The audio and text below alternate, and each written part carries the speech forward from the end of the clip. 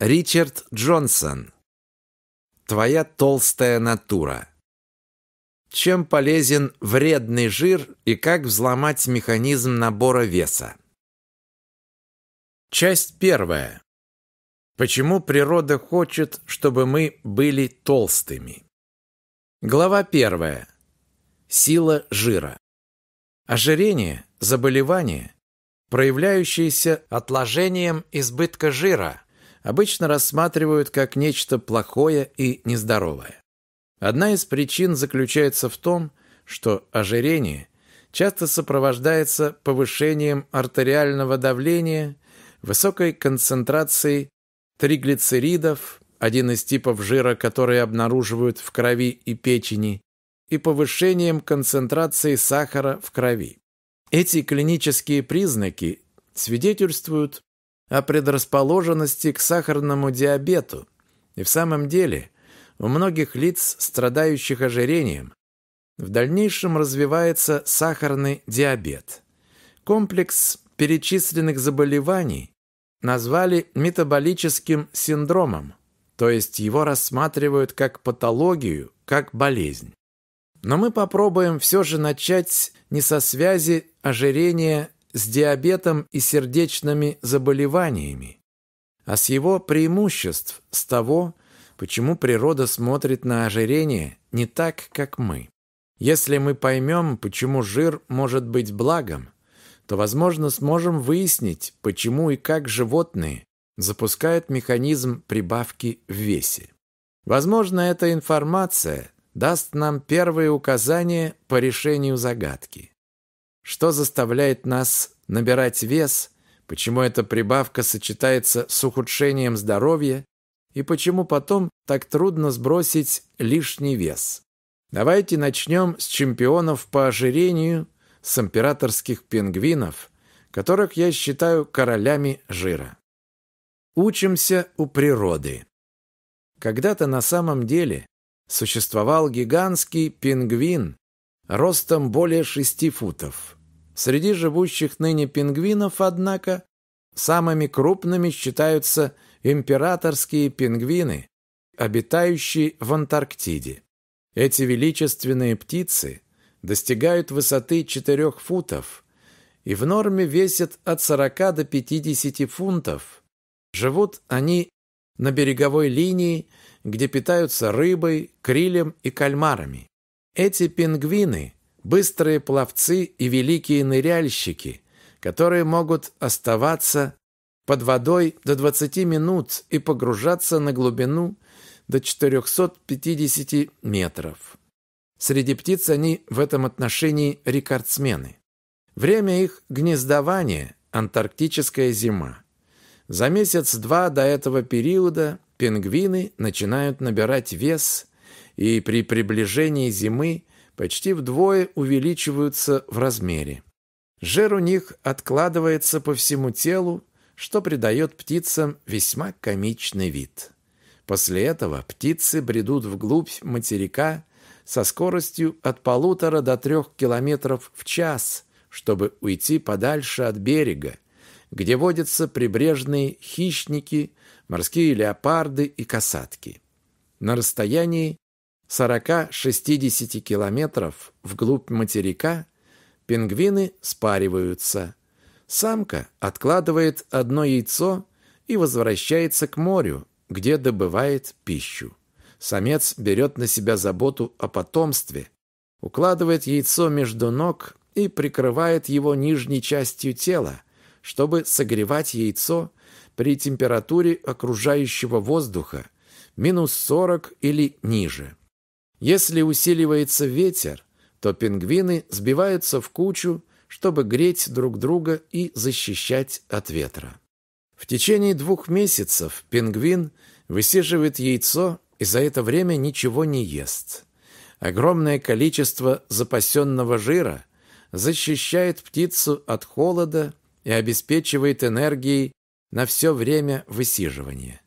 Самец пингвина больше самки и может дольше выживать без пищи, так как запасает больше жира. Однако, если запас жира истощается раньше, чем проклюнется птенец, Пингвин бросает яйцо и пытается вернуться к морю, чтобы добыть себе пищу для выживания. Однако в большинстве случаев пингвину с лихвой хватает жира на то, чтобы высидеть птенца. К этому времени возвращается мать, часто с едой, которую она отрыгивает, чтобы кормить птенца. После этого самец может вернуться к морю, чтобы снова набрать вес. Другие животные накапливают жир в определенные времена года, чтобы помочь себе выжить в периоды, когда недоступны источники пищи. Например, птицы, мигрирующие на большие расстояния, обычно много едят перед перелетом. Такие птицы весьма значительно жиреют, обеспечивая себя энергией, необходимой для полета. Европейский пеночковый пивун отваживается пересекать пустыню Сахару, чтобы достичь мест зимовки в тропической Африке после того, как набирает достаточный запас жира. Но рекордсменом по дальности перелета является малый веретенник, прибрежная птица, которая с помощью длинного клюва добывает в песке или или пищу насекомых и ракообразных. Перед наступлением периода миграции, поздней осенью, у этой птицы откладывается достаточно жира в теле и печени. Документально доказано, что один веретенник за 8 дней преодолел расстояние от Аляски до Новой Зеландии 7 тысяч миль. Животные, впадающие в спячку, гибернацию, тоже увеличивают потребление пищи осенью, готовясь к грядущей холодной зиме. Для того, чтобы снизить количество сжигаемой энергии, они замедляют метаболизм, то есть химические реакции, поддерживающие жизнь. Поедание большего количества пищи на фоне сниженного обмена веществ приводит к образованию и отложению жира. Потом, после впадения в спячку, они снижают температуру тела почти до точки замерзания, чтобы уменьшить частоту сердечных сокращений и еще больше снизить интенсивность метаболизма. Такие животные во время спячки выглядят почти мертвыми. В университете, где я работаю, есть гибернакулум помещение с регулируемыми температурой и освещением, где мы можем изучать поведение животных зимой, включая поведение тринадцатиполосного суслика. Когда это животное впадает в спячку, температура его тела снижается до 4 градусов Цельсия.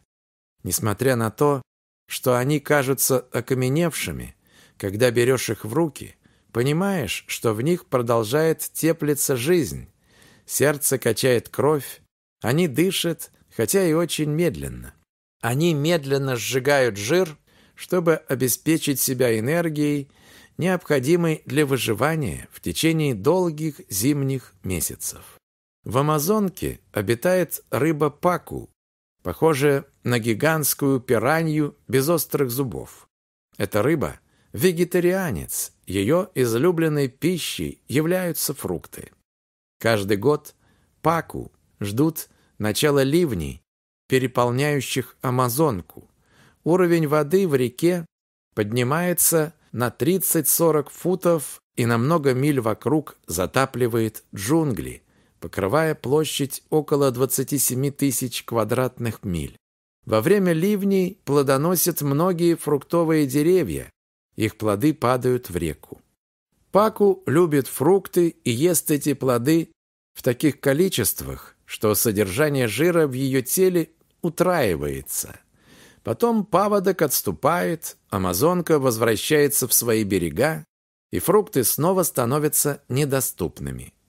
Паку в течение почти полугода живет без еды, выживая за счет жира до тех пор, пока амазонка снова не разольется и плоды снова станут доступными. Как вы видите, жир – это совсем неплохая вещь, если вы живете в дикой природе. Естественно, никому не нужно так много жира, потому что он замедляет скорость передвижения, когда приходится спасаться от хищника, но жир обеспечивает надежную защиту, когда еда недоступна. В таком случае надо просто переосмыслить закон природы. Не всегда выживает самый приспособленный. В некоторых ситуациях выживает самый жирный. Жир – совсем неплохая вещь, если вы живете в дикой природе. Ожирение у человека мы обычно считаем болезнью, но, возможно, с точки зрения природы мы не правы. Давайте заново рассмотрим ожирение у людей в свете этого парадокса и начнем с рассказа о двух голодовках. Сказ о двух голоданиях. Больше 20 лет один скромный юрист по имени Махатма Ганди вел борьбу за независимость Индии от Британской империи. Он носил набедренную повязку, какую носят бедняки, и ел исключительно растительную пищу, ибо был убежден в том, что нельзя убивать животных для еды. Он протестовал, организуя длинные марши. Кто-то подсчитал, что в среднем он проходил за день не меньше 10 миль в течение 20 лет, то есть за это время он дважды обогнул земной шар. Одним из наиболее эффективных способов протеста он считал угрозу голодовки до смерти. В мире, где протесты обычно бывают силовыми, твердое намерение скромного человека уморить себя голодом до смерти было актом ненасильственного сопротивления, который производил на людей сильное впечатление. Отчасти благодаря лидерским качествам и поступкам этого человека Индия получила независимость от Англии 15 августа 1947 года. Обретение независимости, однако, не стало концом деятельности Ганди. Индия является родным домом для нескольких религиозных групп, в том числе индуистов, мусульман и сикхов, между которыми издавна существовали трения. Согласно акту о предоставлении независимости, Англия разделила Индию на два государства – Индию и Пакистан. Индия была преимущественно населена индуистами, а Пакистан – мусульманами. К несчастью, разделение страны по религиозному признаку поставило проживавшие в новых государствах религиозные меньшинства в трудное положение, и вскоре после объявления независимости начались местные восстания и мятежи. Индуистов и сикхов вырезали в Пакистане, а мусульман убивали в Калькутте и Дели. Ганди призвал стороны проявить моральную ответственность, обратившись к правительствам религиозным лидерам с просьбой остановить кровопролитие и защитить религиозные меньшинства в обеих странах. Но, к несчастью, убийства продолжали множиться. Наконец, в январе 1948 года Ганди объявил, что будет голодать до смерти или до того момента, пока в Дели не восстановится мир и мусульмане смогут без опасения за свою жизнь ходить по Дели. Пообедав козьим молоком, овощами и фруктовым соком, Ганди начал свою голодовку в Нью-Дели. В то время ему было 77 лет, и при росте 163 сантиметра он весил всего только около 45 килограмм. Суровый и решительный, в платке, накинутом на хрупкое тело, он каждый вечер выходил из своей комнаты, чтобы помолиться и обратиться к толпе своим тихим, едва слышным голосом. На третий день голодовки он заметно ослабел. Один американский журналист, который посетил его жилище, когда он спал на топчине, заметил, что на лице Ганди были видны следы страдания. На пятый день врачи были серьезно обеспокоены его здоровьем, Но воля Ганди была непреклонной. Население Дели, как и люди во всем мире, были потрясены мужеством человека, который был готов ради своих принципов умереть от голода. На шестой день лидеры индуистов, мусульман и сикхов встретились с руководителями правительства и подписали обязательство выполнить требования Ганди, и он, слабый, но торжествующий, прекратил голодовку. 17 лет спустя, в тысячах миль от Индии, 27-летний мужчина по имени Ангус Барбери был госпитализирован в больницу Данди в Шотландии для снижения веса. Несколько лет Ангус работал в принадлежавшем его отцу магазине, где торговали жареной картошкой с рыбой и постепенно набрал вес. В день поступления в больницу он весил немногим более 200 килограмм. Ангус заинтересовался новым подходом к лечению ожирения – который предусматривал полное голодание в течение нескольких недель. Те, кто проходил этот курс лечения до него, иногда голодали и дольше, до 100 дней, согласно статье, опубликованной в журнале Американской медицинской ассоциации. Ангусу разрешили пить чай, кофе и воду с витаминами, но запретили есть и пить продукты, содержащие калории – Хотя начальный план предусматривал голодание в течение всего нескольких недель, Ангус так хорошо себя чувствовал, что продолжал голодать месяц за месяцем. Он продержался без еды больше года. Удивительно, но у него не возникло никаких болезненных симптомов.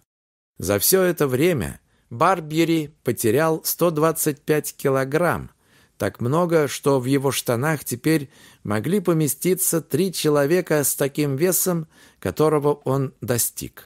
Торжествуя победу, Ангус прекратил голодовку и отпраздновал это событие вареным яйцом и ломтиком хлеба с маслом. В течение следующих лет ему удавалось поддерживать вес ниже 90 килограмм, и так продолжалось течение следующих 25 лет, в течение которых он женился и воспитал детей. Оба эти рассказа вместе поведали нам важную историю о выживании и силе жира. Когда мы не едим, нам приходится полагаться на ту еду, которую мы накопили в тканях.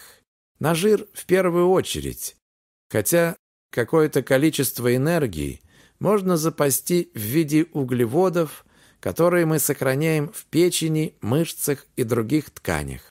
Эти углеводы запасаются в виде вещества, называемого гликогеном. Организм Ганди был почти лишен жира, поэтому голодание всего в течение пяти дней едва его не убило, в то время как Ангус смог голодать 382 дня, причем амбулаторно не имея никаких проблем со здоровьем. Ирония судьбы заключается в том, что Ганди был столь убедителен политически именно благодаря минимальному содержанию жира в организме. Если бы он был толстым, то моральное воздействие голодовки было бы потеряно. Мораль сей басни такова. Жир обеспечивает нас необходимым топливом, когда еда становится недоступной. Чем больше у нас жира, тем дольше можем мы голодать. Конечно, Ганди и Ангус голодали добровольно, но что, если выбора нет? Преимущество небольшого избыточного веса. Когда я работал в университете госпиталя Вашингтона в Сиэтле, я два-три раза в неделю занимался спортом в университетском гимнастическом зале через дорогу от работы. В течение 30-45 минут я поднимал тяжести. Там я часто видел одного своего друга-культуриста. Он был невероятно мускулист и подтянут. На его теле не было видно вообще никакого жира. Он был на десять, а может быть и на пятнадцать лет старше меня, а выглядел на десять лет моложе.